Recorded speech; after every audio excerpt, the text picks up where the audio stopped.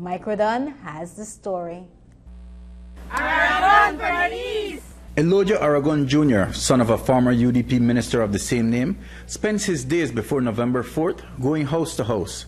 He's a career policeman turned politician, and this is his first general election. Still, he's been in the era for some time now as the standard bearer, and he says that presence will count in his favor on election day. Since the Prime Minister called the elections, you know, for the 4th of um, November here, you know, we've been busy. I've always been busy from day one. From the day I made that commitment to the people of Orange Walk East, I've always been on the ground. Uh, definitely, I've been in all the villages already. I am also right now trying to see if we could finish up with Tong for a third time since I've been here since a year and eight months.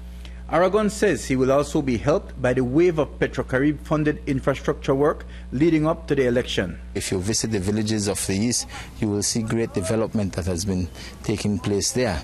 Uh, of course, in, in Orange Walk Town, uh, if you look behind us right now, you see the, the, the, the, the upgrade, the pavement the paving of Liberty Avenue, and that is a major accomplishment right now. We are going to, this is the first phase of, of um, Liberty Avenue.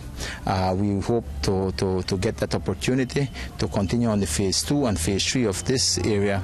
And definitely, this is only the start of what will come for Orange Walk East. And definitely, I do believe that the people of the East are ready for a true leader, a leader that will work, a leader that will have them at heart, a leader that will make a difference in this area. And I do believe that that leader is myself, and I'm asking the people of Orange Walk East to give me that opportunity. As he seeks support from residents of Orange Walk East, house to house, neighborhood to neighborhood, Aragon is also dismissive of his opponent in the race.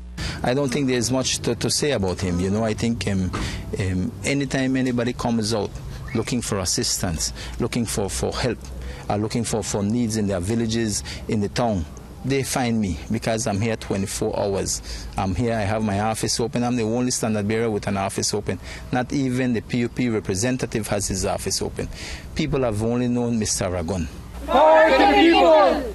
The truth is, though, that Aragon will face a formidable candidate in the PUP's Josue Carballo, who is a sitting town councillor and certainly no stranger to politics in the East. Carballo is looking to take over the seat from sitting PUP representative Marco Tulio Mendez.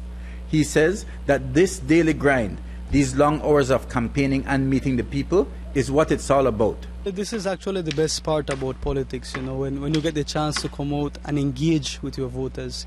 You get this opportunity to sincerely sit down, listen, and most importantly, understand. Understand the way this country has been ill governed, understand the, the frustration that people are passing through right now, and looking for a way out this is a time we sit down and we are able to, to have that conversation, that meaningful, meaningful dialogue in which we let our voters know that there is hope. Carballo is campaigning on a governance platform, one that is being pushed by the People's United Party. We understand that what the people want is, is, is good governance. Definitely, what people want is um, true accountability, openness. That's that's the bottom line. No openness. I think um, definitely there's nothing. What what this current government has done is basically try to blind us from all the the abusive, excessive spending and trying to live in the past, trying to live in a 2008 and right now we are in 2015. Seven years, going to eight years of neglect. Both candidates are out doing the requisite legwork. Both are battling for their first terms in the big time. One represents the incumbent central government, and the other the party which currently controls the division. The East will be one of the places to watch on election day.